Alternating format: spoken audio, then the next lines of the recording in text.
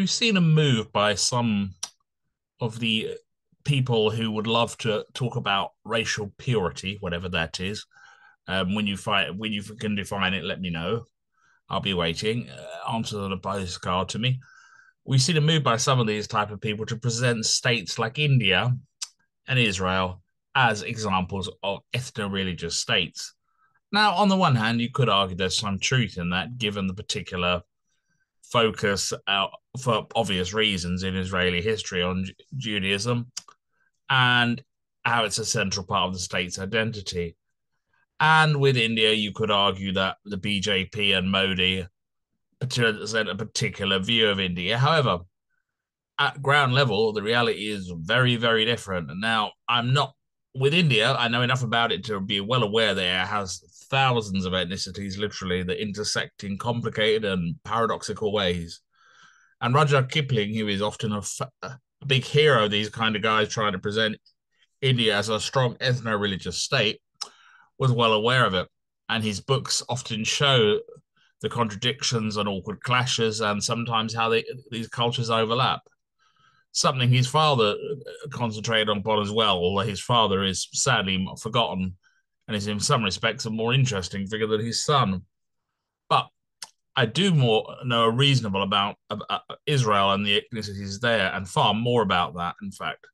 And I'm going to demolish in about three seconds the notion that Israel has no ethnic diversity. Uh, it's absolutely a ridiculous argument. Let me share first this back, this information. Let me get rid of that and agree to the cookies. 3,000 interviews later, a Canadian Israeli's view on the conflict. Corey Gil-Shuster, creator of video series Ask the Ask Project, traverses Israel and the West Bank, seeking truths from the region's everyday citizens. Now, in a moment, I'm going to share some of Corey's videos where he's asking people. And this is a one of a set of 49 videos doing 49 ethnicities. Not diverse.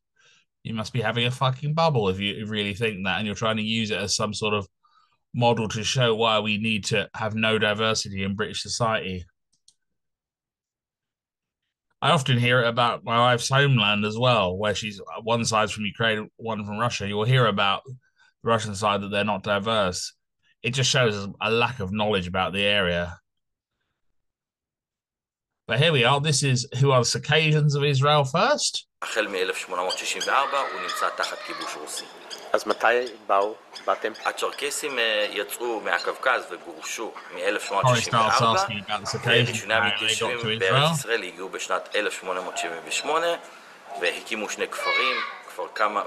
Let's go, go through a few others. The Bukharim from Uzbekistan,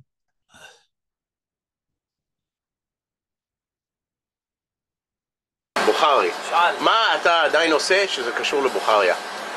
חוץ מלאכול שום דבר לא קשור. מה, אוקיי, אז מה, איזה מאכלים? אה, יש להם מאכלים גושגז'ה, ראש פלור, אה, בחש, מנטו. יפה. הכל בשר, קיצר, עזוב אותך. ואורז, סליחה, יש לך את האורז. and that osh paluf is is it's a variation on pilaf, which is a dish that people may be familiar with. Look at the number of ethnicities going down there: Druze, Afghanistan, oh Indians, uh, Hungarians, Bulgarians, Ethiopians, of whom there are quite a lot in in Israel, Turks, Germans. Any claim that Israel is not ethnically diverse is ludicrous and anyone who spends five minutes willing to learn about Israel will find that it how just how ludicrous it is. Israel is not some uh, stereotypical state where it's just full of Orthodox Jewish guys wandering about or anything. It's a complicated state with cultures that sometimes contradict with each other, clash with each other, even within Judaism.